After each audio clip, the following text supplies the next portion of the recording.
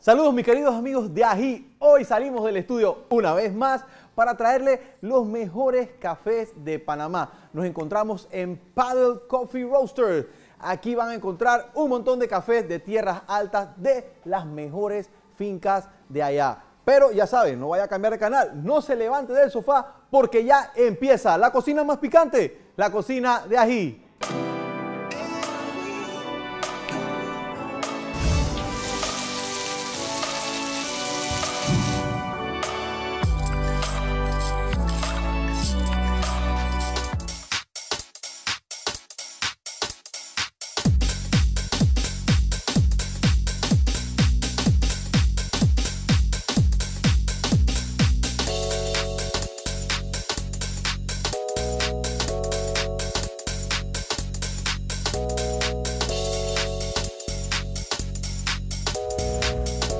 Queridos amigos de Ají, me encuentro aquí con Manuel Barzallos, el barista, el tostador y propietario de Paddle Coffee Roaster.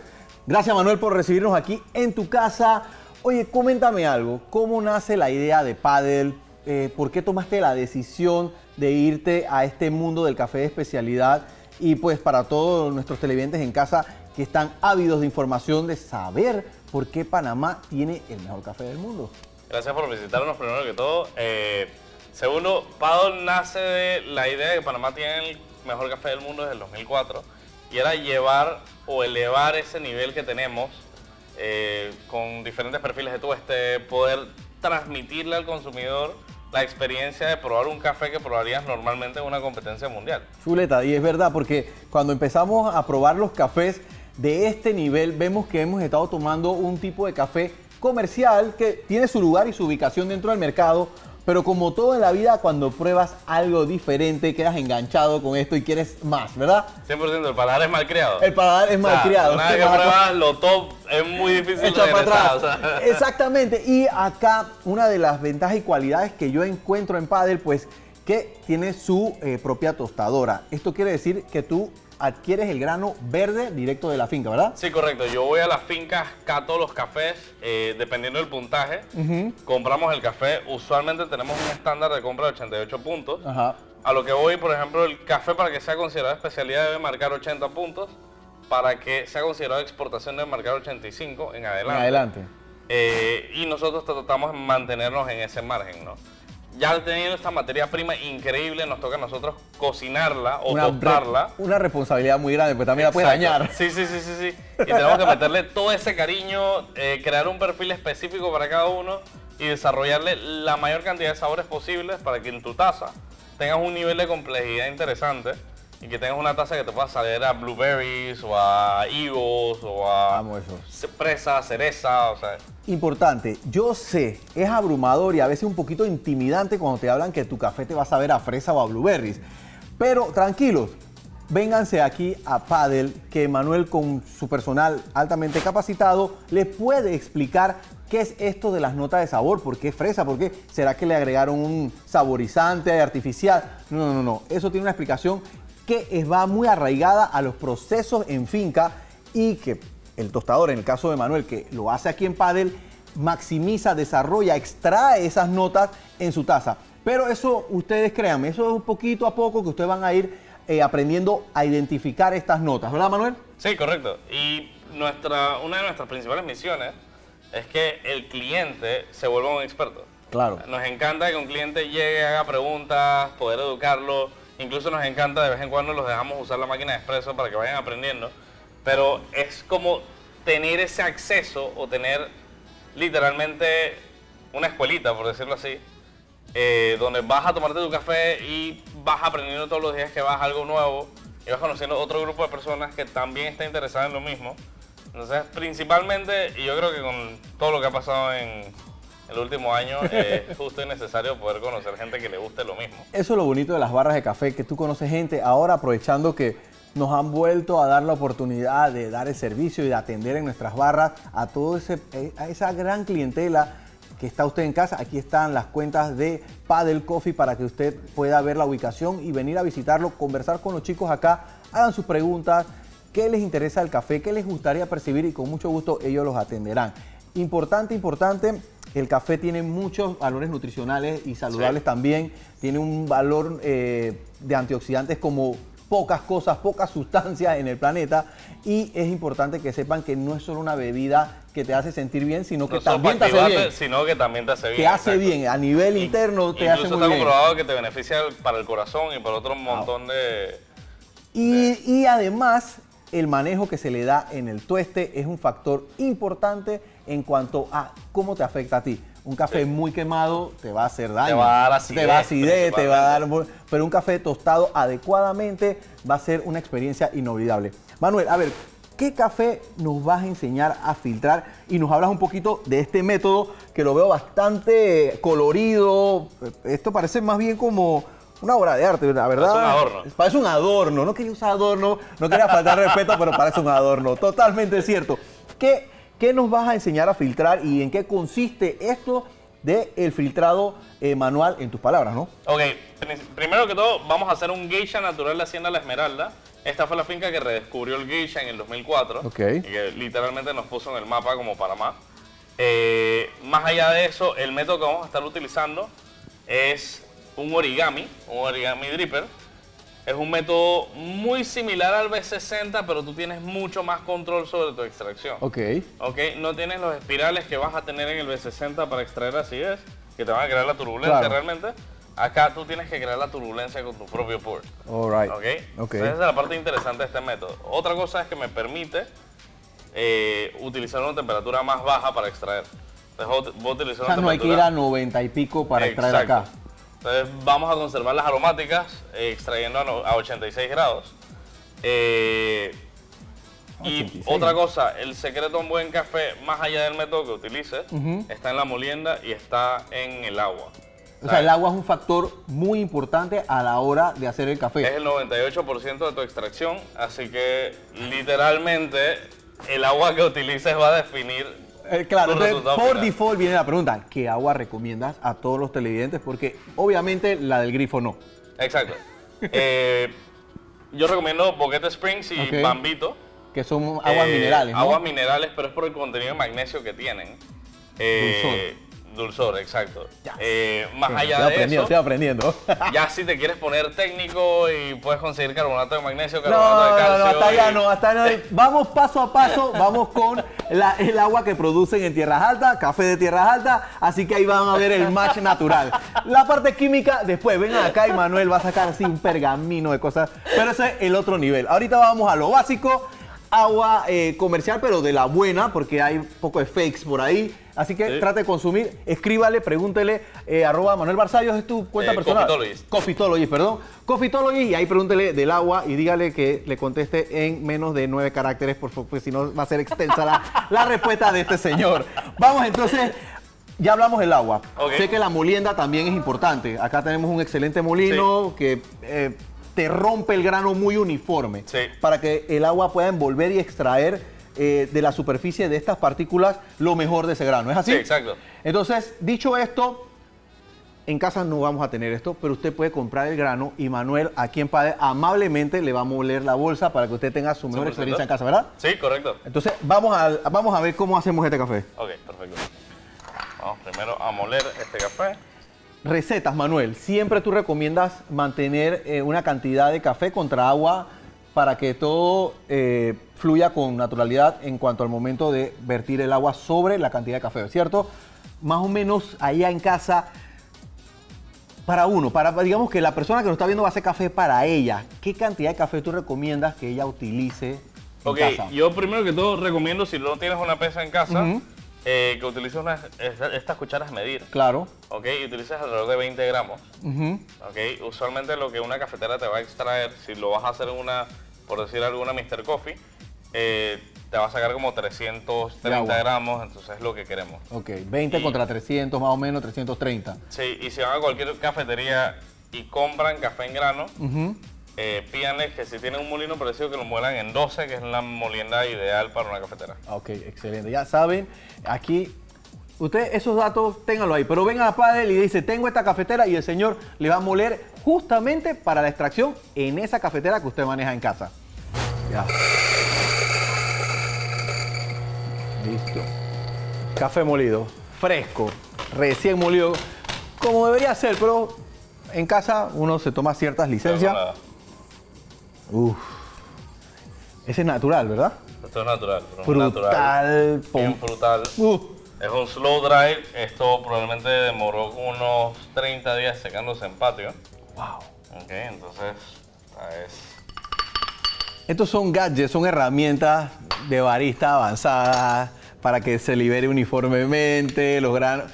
No tiene que ir corriendo a buscar eso. Eso es acá. no se asuste. ¿Y esa campanita? ¿Cómo hago café sin esa campanita? No se preocupe, no se preocupe, no es necesaria. Ok, aquí vamos a hacer de nuevo eh, tres pours. Ok. El primero es el bloom. Llegamos. El bloom es lo que conocemos como para liberar el, el CO2 capturado eh, en, la- en la- en el proceso de tueste, ¿verdad? Exacto. Ok. Ahí esperamos unos segundos para Ahí que eso esperamos suceda. 35 segundos para, para, para dejar el bloom. Y después de eso vamos a hacer un vertido más. Ok, ¿qué sucede? ¿Te acuerdas que te Puro decía que en esto, esto, controlamos la, o sea, en esto controlamos más la turbulencia? Ok. Nosotros, ok, nuestro café saldría más ácido Ujú. en el de allá porque está creando B60. mucho más turbulencia. Acá no, acá tú lo que quieres es tener menos turbulencia para que esté balanceado. Esto quiere decir vertir el agua con más cuidado. Eh, eh, eh, tra- traducido es vertir el agua con más cuidado. Eso es menos turbulencia.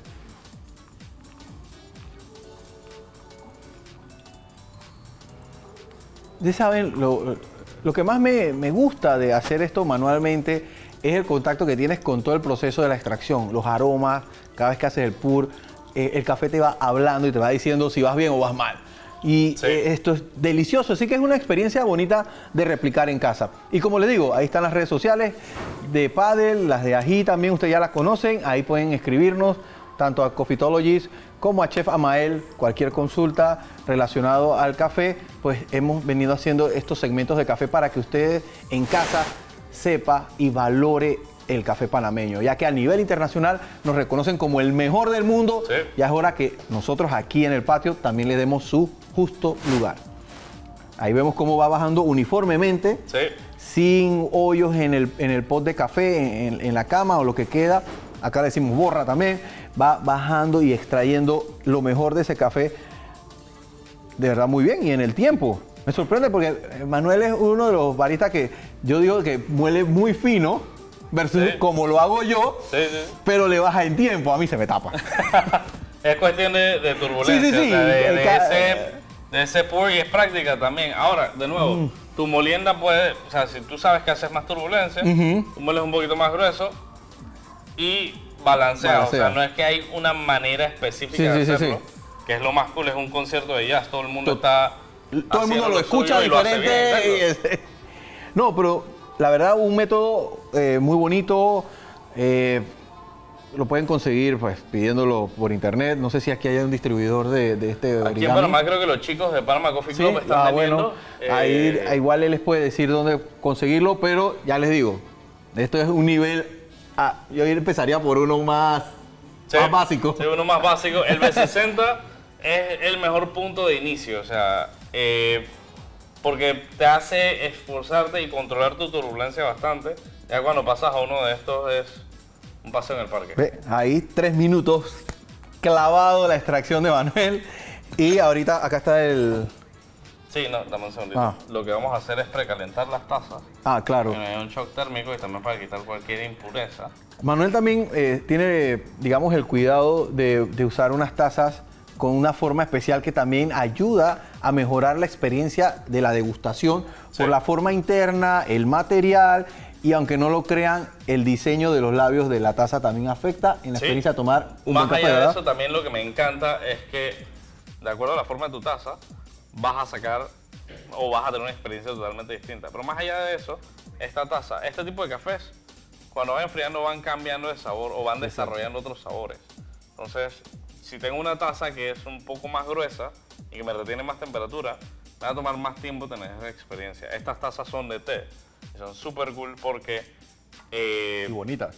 no retienen tanta temperatura Sí, y cierto. entre sorbo y sorbo vas a... ir teniendo experiencias distintas de poder tener un análisis completo del café que te estás tomando. Ven, esas son las ventajas de ir a un lugar especializado en el tema, porque no solo te brindan el producto que tú quieres, sino una explicación mucho más amplia y se preocupan porque tu experiencia no solo sea la que tú esperabas, sino ir un poco más allá y que tú puedas percibir en una taza hasta tres notas de sabor distintas a medida que va cambiando su temperatura. Probemos pues.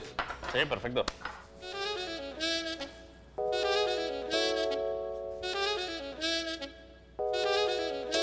Yo sé, y me pasaba antes, teníamos ese reflejo de que tomar el café había que tomarlo hirviendo, que echara humo, que el café caliente era lo que es. Pero cuando ya manejamos café de estos niveles, de, esta especialización en el café, incluso el café de más alta calidad frío sabe hasta mejor. Yo creo frío me refiero a la temperatura ambiente, ¿no? Es un concepto general, yo creo que aplica para otras industrias también, por ejemplo, la idea de tener una cerveza hiper fría, bajo cero. Blanco, bajo cero. Eh, usualmente es para cervezas un poco más comerciales que si te la tomas caliente vas a ver poquito pesado, ¿no? Pero a medida que vas mejorando la materia prima y todo lo demás y tienes estas cosas, el café lo puedes tomar un poco más frío y la cerveza la puedes tomar un poquito más caliente. Totalmente, cómo te invierten las cosas, ¿no? Exacto. Esto está muy delicioso, la explosión de sabores en la boca, eh, cómo tu lengua empieza a salivar porque detecta ácidos, detecta el dulzor natural. Aquí no hay azúcar añadida. Sí, exacto. Esto siempre es un proceso que viene desde la finca, el cuidado, la alimentación de la planta, la manera en que se cosechó, aunque usted nos crea, juega un papel muy importante y el cuidado que se le da hasta que llega al horno del tostador. Ahí es donde la habilidad y el conocimiento y sobre todo la experiencia les permite a ellos poder extraer y maximizar las cualidades intrínsecas y cualitativas de cada uno de estos granos, porque café no es café. Café hay geishas, catuais, caturras, bourbon, y cada uno tiene cualidades. Más de 400 varietales. 400, imagínense. Y la habilidad del tostador, con mucho estudio y experiencia, es saber cómo entrarle a estos granos para mejorar sus características en todos los aspectos. Te felicito, Manuel, la verdad, es un café muy bien extraído, no, está de, no está de más decirlo, la verdad. Gracias. De colega a colega, gracias por esta taza. Eh, puedes sentir la nota jazmín, sabe a Pink Newtons en retrogusto, o sea, literalmente como cometer una galleta de Pink Newton, higo con vainilla, o sea, mm. un, Pero me, sorprende la, acidez redonda, muy brillante. Cuando me refiero a esto, no es que sea una acidez que te saca lágrimas, sino que está presente y el dulzor, man, el dulzor de esta Y la acidez es más como un key lime pie, o sea, es, algo... O sea, es tarty y es, sí, es cítrica pero dulce. Traduciendo todo lo que dijo este señor, es agradable, es agradable. Bueno, como en Padel no todo es café, ahora vamos con la chef porque nos va a preparar un delicioso emparedado para que ustedes vean que además de que es una deliciosa taza, ustedes pueden acompañarla con varias delicatessen que se preparan aquí en la cocina de Padel. Así que ya venimos con la preparación de un emparedado delicioso que sé que a todos ustedes allá en casa les va a encantar. Pronto regresamos gracias a... En Super 99 nos volvimos locos por las frutas y verduras. Llena tu cartilla y colecciona los seis peluches de los Minions. Solo en Super 99. Estamos de vuelta gracias a... En Super 99 nos volvimos locos por las frutas y verduras. Llena tu cartilla y colecciona los seis peluches de los Minions. Solo en Super 99. Bueno, ahora nos encontramos con Juliet, la encargada, la capitana, la timonera de la cocina aquí en Padel. Y nos va a demostrar cómo ella arma un emparedado que a juicio de ella y de los clientes que vienen aquí les gusta mucho a la hora de acompañar un cafecito, un buen capuchino aquí en Padre. Juliet, cuéntame, ¿cómo se llama este emparedado? Toque mozzarella. Ah, mira, viene con pavo y mozzarella entonces. Exactamente. Y el pan, veo que es un pan eh, muy tipo francés, eh, muy aromático, muy rico. Es el que tú escogiste para este emparedado. Eh, imagino que porque combina muy bien con los vegetales, con el tomate, con, lo que a nosotros nos gusta el morder que traque la, concha. Exactamente, es una barra gallega, digamos, estilo mm, francés. Ajá. Eh, viene aderezado con la salsa de nuestra... Salsa, especial de la casa, es el secreto, así que no le voy a dar el ingrediente. Venga aquí a Padel a probarlo. Exactamente, los esperamos. Bueno, primeramente ponemos salsa sobre nuestro pan. Para humedecer ese pan tostadito, previamente tostado.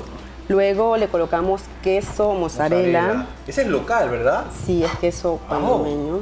Muy rico, por supuesto. Mucho crema, eh, Sí. De igual manera tenemos jamón. Con de eh, pavo. exactamente. Bastante jamón. Mucho. Por ejemplo, si yo quiero el queso derretido, tú me lo, me lo pones en el Sí, hornito y lo derrites, Nosotros ¿verdad? lo pasamos por la plancha para que el queso Se quede derrita. totalmente. Uh, delicioso. Le ponemos un poco de ensalada, tomate y lechuga. Tiene, tiene que tener algo fresco para que esa, esa, esa sensación de, de que nos estamos cuidando y que estamos haciendo dieta. Exactamente. Eh, bueno, este emparedado a mi parecer iría súper bien con un capuchino. Nuestros clientes lo piden de esa manera. ¿Ah, sí? Se pide mucho para el desayuno. Ahora le decimos a Manuel que nos haga un capuchino, ¿verdad? Sí, claro. Igual puede ser con un un aislate o nuestras bebidas naturales también. ¿También tiene licuado Bueno. de frutas acá? Sí, tenemos fresas con banana, papaya en leche, eh, Vaya, todo eso. melón, sí, muchas bebidas naturales, aparte del café, por supuesto. Em, igual nuestros emparedados vienen acompañados con Platanitos. platanitos. Y, por supuesto, ya sabe que esto va siempre a la Ya saben plancha. se va a comer esto, ¿no? Ya ustedes saben que ese me lo voy a comer yo. Oye, fabuloso. Y además veo que también cuentan con empanadas rellenas, tienen croissant también y un delicioso... ¿Este es dulce de zanahoria? No, este ¿De es qué? de banana. De banano. De banano, aquí pueden venir también a acompañar su taza de capuchino, no solamente con un buen pareado, sino también con unas deliciosas empanadas de queso, de carne rellenas, un croissancito también, como pueden ver, bien flaky, bien como debe ser un croissant. Y por acá pues un delicioso banana bread que va bien con café expreso, americano, filtrado, Con vaso de leche, batido de papaya también, no. No, no, Ahí no me meto. Usted decida con qué lo va a mezclar aquí en Padel. Amablemente se lo van a preparar para que usted tenga la mejor experiencia al momento de degustar una taza de café de especialidad. Igual queremos recordarles que tenemos menú del día, tenemos... ¿Así, ejecutivo? Sí, tenemos el menú, ¿no? Dime que haces lenteja, dime que haces Por lenteja. supuesto. Eso. Todos nuestros platos traen proteína, arroz, menestra y ensaladas. Igual puede ser opcional arroz o ensalada. Ah, qué Igual los bien. esperamos para atenderles con gusto. Me voy a quedar a almorzar, definitivamente. bueno, y ahora para acompañar mi emparejado de queso mozzarella con pavo, qué mejor que unos cortaditos que Manuel nos está preparando con un café tostado para eso. Él está usando un varietal que usualmente no se usa para el expreso, en geisha, pero la habilidad pues de tener el, el tostador y poder eh, controlar su presión y temperatura en máquina le permite hacer expreso a base de geisha. Y eso es otra cosa que pueden experimentar aquí en Padel. A ver, Manuelín, ¿qué tenemos por allá? Ya están Tenemos los shots de expresos. los dos geishas de Hacienda Esmeralda. Un expreso. Ah, Por eso digo, dense la vuelta por las cafeterías de especialidad. Padel es una de ellas. Y exíjanle al barista cosas diferentes que por algo ellos han estudiado y se han preparado y tienen experiencia en esto y pueden desarrollar bebidas totalmente diferentes a lo que eh, usualmente se estila en una cafetería, eh, digamos, más comercial, menos especializada en lo que a café se refiere. A ver acá. Mm, totalmente diferente a las otras variedades de café. El geisha, siempre sorprendiendo. Y ahora en expreso, imagínense. Cortadito para acompañar este emparedado.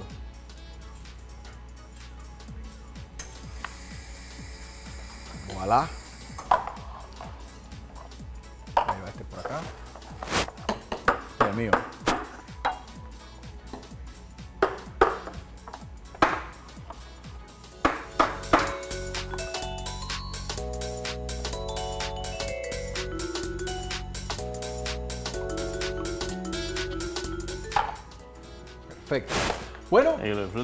Salud papá. Salud. Vamos a probar esta delicia, a ver.